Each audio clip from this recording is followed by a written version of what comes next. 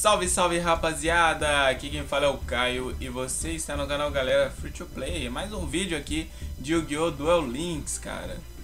É... Ah, Caio, é um vídeo de Yu-Gi-Oh! Duel Links, mas tá rodando aí na tela Master Duel. Sim, tá rodando na tela Master Duel, porque eu queria falar hoje de algumas hand traps aqui do Master Duel que poderiam ou não poderiam se encaixar no DL. Gostou do tema do vídeo? Gostou do assunto? Cara, já vai deixando o like aí, compartilha com os amigos, ativa o sininho para você não perder nenhuma notificação de vídeos e lives nossas aí, beleza rapaziada? Então, bora pro vídeo aí sem corte, sem edição, sem nada, pra gente poder abordar esse assunto aí. Eu quero muito ver o comentário de vocês, tá? A opinião de vocês é muito importante aqui pro canal, beleza? Pros vídeos, eu gosto muito de saber é, a opinião de vocês também, rapaziada. Então vamos começar aqui, né? Pela... Por uma que não, não vai fazer tanta diferença, na minha opinião, vindo pro DL, né? Eu tava pensando, pô, é, tava jogando a Titã, inclusive a gente tomou uma lavada na Titã hoje, mas acontece, né? e a gente tava comentando lá, eu e o pessoal do clã, é, sobre essa carta aqui, o Nibiru, né? Nibiru, o ser primitivo. Cara, ele basicamente, ó, durante a fase principal, é, se seu oponente invocou 5 ou mais monstros por invocação normal especial, né? Neste turno, efeito rápido, você pode oferecer como tributo tantos monstros com face para cima no campo quanto possível, e se isso acontecer, invoca este card por invocação especial da sua mão e depois invoca por invocação especial uma ficha de ser primitivo rocha de luz nível 11 ataque e defesa indefinidos ali no campo do seu oponente. Uh, ataque e defesa dessa ficha se torna a soma dos respectivos ataques e defesa original dos monstros oferecidos como tributo. Uh, só pode usar o efeito de Nibiru, o ser primitivo, uma vez por turno. Então, basicamente, uh, se o cara invocou, sei lá, fez. Vamos supor que o cara tá jogando ali de live to win. Invocou ali a menina, trouxe a outra, fez o link, já é três invocações. Ativou, trouxe ali a outra link, já é a quarta invocação. Comprou uma carta, fez ali mais uma link do, é, a link vermelha novamente, né, a rosa lá, para deixar para o turno do é, do, do oponente, né, no turno do, no, no caso no seu turno. Aí ele já fez cinco invocações normais ou especiais, né? Só esse combinho aí do live da Live Twin já faz 5 invocações no campo. Então você pode descer o Nibiru já inibindo ali o, o oponente de, de, ter a interação das meninas ali no seu turno, né? O que é bem interessante, cara. É uma hand trap bem legal. Eu acho que ela caberia no DL sim, viu? Eu acho que essa hand trap aqui ela vai dividir opiniões, mas ela caberia, na minha opinião, no DL. Então, deixa aí nos comentários a sua opinião sobre o Nibiru, cara. Nibiru seria interessante de vir pro DL? Outra hand trap, barra trap aqui, né? Ela é mais uma trap, né? Mas ela... Ô, gente, agora que eu vi, perdão, agora que eu vi que a câmera tá em cima da, da do texto da carta.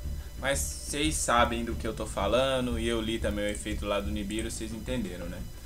É, isso aqui, por que, que é trap barra hand trap? Porque, ó, você pode escolher um monstro com face para cima que seu oponente controle e negue seus efeitos. Ok. Até o final desse turno e depois, se este card estava baixado antes da ativação é, estiver ainda no campo da resolução, então no caso se ele tiver baixado, você ativar ele né, e ele ainda permanecer no campo até resolver o seu efeito, todos os outros efeitos de magia e armadilha nessa coluna são negados. Ponto.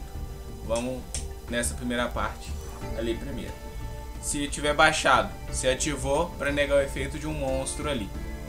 É, a partir do momento que essa carta ficou no campo até ela resolver o efeito de negate dela, né, você nega todos, todas as outras magias ou armadilhas que ativarem na mesma coluna que essa carta tiver. Então o oponente ele vai ter dois slots para poder né, ativar cartas de magia armadilha ali. Se ele não ler direito a carta ou não conhecer e ativar, sei lá, um Dark Hole, alguma coisa, vai ser negado, né? É, mas é muito difícil o oponente não conhecer essa carta e também, pelo menos, não ler ela, né? não saber o que ela faz. Ou por que, que eu pus um ponto final aqui para explicar primeiro o efeito da carta? Porque ela diz aqui também que se você não controlar nenhum card, você pode ativar essa carta da sua mão. Então ela vira uma Effect Valley. Né? Eu acho que essa carta é tranquilo dela tá no DL, cara. Porque ela vai virar um Effect Valley apenas, né? É, se você não controla nenhum monstro ali, às vezes está com ela na mão ali no turno, o oponente está no turno 1, né? Você joga no turno 2, está com ela na mão ali no turno 1 do oponente, você consegue dar um negate ali, é, igual o da Effect Valley, negar até o final do turno e tudo mais, né? Uh, esse segundo efeito dela aqui de você, esse primeiro efeito, né? De você ativar ela e ela continuar no campo na resolução do efeito, de negar uma carta na coluna, também não vai ser tão forte justamente pelo oponente ficar ligado ali não ativar nenhuma carta ali, a não ser que o cara tenha uma trap setada ali, né? Uma trap muito importante para ele, setada ali naquela coluna. Se ela for ativada, ela vai ser negada, né? Então, é, querendo ou não, é um plus, né? Mas e você? Deixa aí nos comentários a sua opinião que eu quero saber. A trans não é trans, é impermanência infinita. Eu ia falar transmodificação de Tachyon. oh meu Deus, Tachyon não sai da cabeça do jogador de DL, né, mano? É complicado, é complicado. Mas deixa aí a opinião sua nos comentários e bora pra próxima Hand Trap. Rapaziada, terceira e última Hand Trap aqui pra poder mostrar pra vocês é a famosa Ashe, né, cara? Querida Ashe, velho. É, sei que muitos de vocês conhecem, outros não, né? Isso é normal. Uh, a Ashe é uma hand trap muito poderosa, cara. Ela é muito poderosa. Ela realmente acho que seria a hand trap mais problemática que a gente teria no DL. Certamente seria. Porque o que ela faz? Ó, quando um card ou efeito for ativado que inclua qualquer um desses efeitos, efeito rápido, você pode descartar esse card e nega o efeito. Ponto. Se o oponente ativar um efeito de adicionar um card do deck à mão, você pode negar. É, invocar por invocação especial do deck, você pode negar também. Ou enviar um card do deck para o cemitério, você também pode negar. Se for um desses três efeitos aqui, tá? Então, ele nega a escudeira do Shiranui, por exemplo, que ela invoca do deck. Uh, só para dar exemplo, tá, gente? Só para ilustrar aqui. Ele nega o Gozuki, por exemplo, né, que era usado muito tempo no Shiranui, muito tempo atrás, que joga a carta para o cemitério, né, ou a própria magia lá dos Teni, né, você ativa quando tem o Link 1 lá na mesa, você jogar uma carta de cemitério e comprar um Teni para a mão. Então ele, ela nega aquela carta também. Lembrando, hein, magia, armadilha, monstro, ela nega qualquer coisa. Exceed, Link, o que for, ela nega, tá? Se tiver enquadrado num desses três efeitos aqui, ela pode negar é, ou adicionar um card do deck para mão. De repente ela pode também negar um pote da ganância, né? Uh, no caso, uh, não, na verdade, pote da ganância acho que não, né? Porque o pote da ganância ele compra cartas do topo do deck. É, para ilustrar melhor, ela pode negar.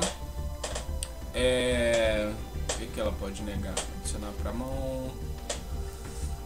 É, um efeito de adicionar para mão. Me foge todos os efeitos aqui. Inclusive a carta de Teni, que você tributa um Teni, né, a magia rápida lá, e compra um pra mão, por exemplo. Só para deixar bem ilustrado, né. Eu citei o poste da ganância aqui, mas... Não, não, não, tá? Esqueçam, esqueçam isso aí. Foi um equívoco. mas por que que ela seria problemática, cara? Por quê? Ah, cara, ela vai negar um efeito, ok. Por que que ela seria problemática? Ela nega da mão, do campo, do cemitério, do banimento de qualquer lugar, cara. Ela não nega igual a velha, só de face para cima no campo. Não. Ela nega efeito de qualquer lugar. E nega magia, nega armadilha, nega monstro, como eu expliquei. Então, é, cara, uma das hand traps mais fortes que a gente tem no DL, mano. Então ela seria bem problemática hoje em dia no Dual Links. Poderia de repente ter ali uma digamos assim uma vinda da Ash limitada, por exemplo, não sei, né? mas seria problemático. Ela, se fosse vir hoje em dia, teria que vir limitada. E eu acho que a Konami não vai fazer isso, tá? É, eu acho que a Ashe vem quando, é igual até o Gustavo tava comentando comigo lá do, do nosso clã, a gente tava comentando, que ele achava que a Ashe poderia vir de repente quando viesse a Barone de Fleur, né? De repente. Não sei. Vamos ver. Isso fica aí a critério da Konami, né? Eu quero saber a opinião de vocês sobre essas três traps que eu trouxe aqui hoje para poder mostrar para vocês. E se vocês gostarem, dá muito like no vídeo, comenta que quer mais vídeos como esse aqui, né, de cartas aqui do MD que poderiam vir pro DL. Eu comecei aqui com as hand traps, mas tem algumas outras alguns outros pontos para a gente poder explorar também, né? Uh, de repente, se vocês gostarem do vídeo, a gente pode começar a trazer uma série aqui sobre cartas que poderiam estar no DL. Então eu vou indo nessa, galera. Um forte abraço a todos vocês, fiquem com Deus e fui. Tchau!